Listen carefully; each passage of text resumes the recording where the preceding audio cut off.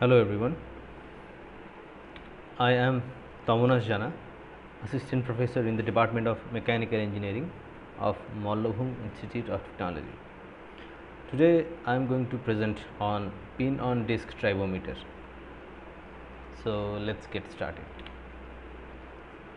First, what is a tribotester or tribometer? The word tribo originates from the Greek word tribos, which means rubbing. Therefore, tribotest signifies a test related to rubbing of surfaces. To be more specific, tribotester is an apparatus to test the friction and wear behavior between two interacting surfaces with relative sliding. Uh, there are different types of tribometer such as pin on disc type, reciprocating type, four ball tester, fretting tester, wheel abrasion tester, etc. Among all of these tribotesters, the most common and popular type of tribometer uh, is the pin on disc type. Now, the question is what are the advantages of the pin on disc type tribotester that make it most popular type of tribotester. First, the simplicity of its construction as well as its working methods. Next, uh, a wide range of tribological pairs can be easily tested in this type of tribotester that is its versatility.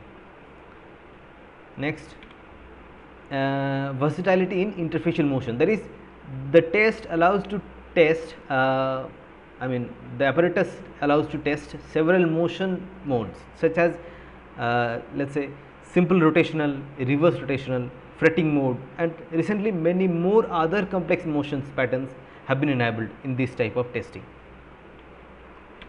And the next is operating condition can be widely varied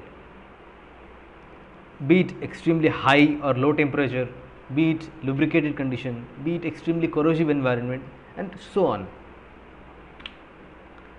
Uh, this figure shows the schematic diagram of the uh, pin on disc tribotester. As we can see, uh, there is a pin on which the vertical load is applied and below this pin uh, the disc is touching the pin end of the pin and which rotates and creates the wear track circular wear track. Now, component of a typical tribotester these are the components. As we can see uh, here this is the main component of the tribotester where this is the uh, main chamber where the uh, this inside this chamber there is the pin and the disc and this chamber is closed because of creating an environment. For example here the pump pumps uh, the lubricant so that it can test in lubricated condition. Okay? And this part is the monitor and controller. The resulting wear and friction data are automatically generated and stored in this computer. Okay? And here we can see a, a simulation model of this uh, pin on disc tribo testing method. As we can see the pin is moving in a rotational motion on the on the disc. Actually in actual case the reverse happens. Here just for simulation purpose the reverse is shown here. The uh, in actual case the most of the cases obviously the pin remains fixed and the disc rotates.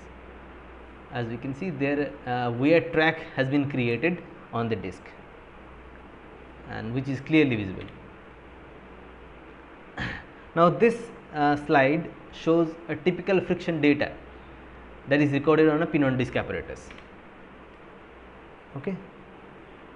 So as we can see this uh, in this figure the initial part of the data is much more unstable than the later part of the data. This behavior is attributed to as running in phenomenon. During this running in the surface topography changes chemical reactions take place until the system comes to a steady state by here. The steady state coefficient of friction is usually usually the average value of this steady state coefficient of friction is usually reported. Now, important factors that affect the testing procedure.